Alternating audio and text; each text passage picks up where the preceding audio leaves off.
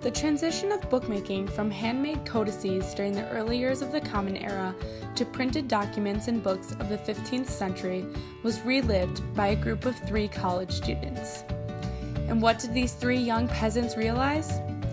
Today, in the 21st century, we are spoiled with machines and advanced technology that complete majority, if not all, of these tasks for us.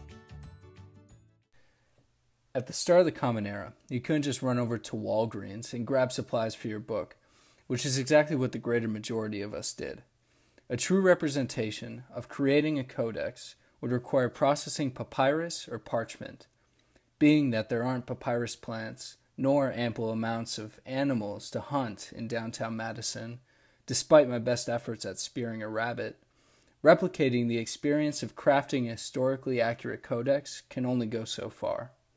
The supplies that each of us have at our disposal is striking in comparison to the era of early codices.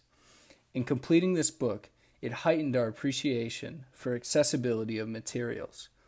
Our lives have been incredibly simplified with the advancements in technology, and being forced to take this step back in time forces one to contemplate the ways of old. Ballpoint pens, gel pens, mechanical pencils, fountain pens, highlighters. Who knew that we would one day have such a wide variety of writing tools to pick from? In the Common Era, quill pens were used to write many of the me- medieval manuscripts. Preceding even the dip pen, the quill is not the easiest to maneuver nor create text that is aesthetically pleasing. Many of our attempts were even laughable. We quickly realized that picking up on the quill was not as straightforward as we initially thought. The pen shaft itself is delicate, making it difficult to grip firmly. The quill, the quill does not easily or smoothly run across the paper, similar to the way a standard pen would today. The curvature of the quill point makes it difficult to write uniformly across the paper, creating an eerie scratching noise. If you don't get enough ink on the quill, you find yourself constantly dipping it back in. Yet if you get too much ink on the quill, your text comes out thick and goopy. Clearly, it takes more than just picking up a quill and starting to write. In order to create finely detailed and precise manuscripts and books, the scribes must have practiced long hours in order to perfect their transcriptions. In completing the scribing process, we gain great appreciation for the technique and craft that came with bookmaking and manuscript transcription. It was an art form, and talented scribes had perfected this technique. Although the printing press was a huge advancement from quill writing, it was still quite a laborious task. To say the least, the stamping process was tedious. The three of us immediately fell into certain roles, similar to the way a print shop may have been run.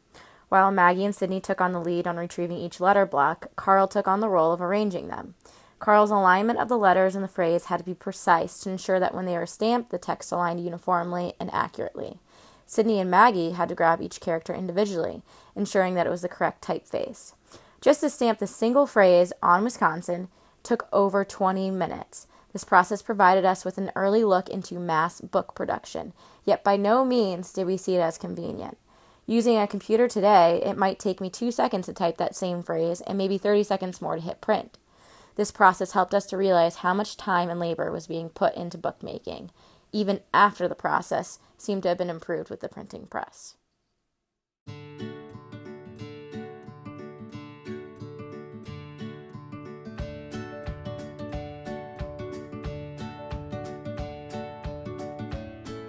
With this glimpse into early bookmaking, we identified three ways in which our appreciation for books was deepened.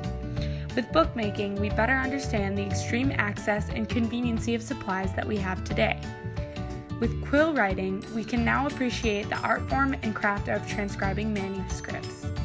And finally, with the labor intensive printing press, we understand the privilege we have with technology that makes bookmaking and printing take no longer than a few minutes. Overall, we have deepened our appreciation for books both made at this time and today. Thanks for watching On Wisconsin.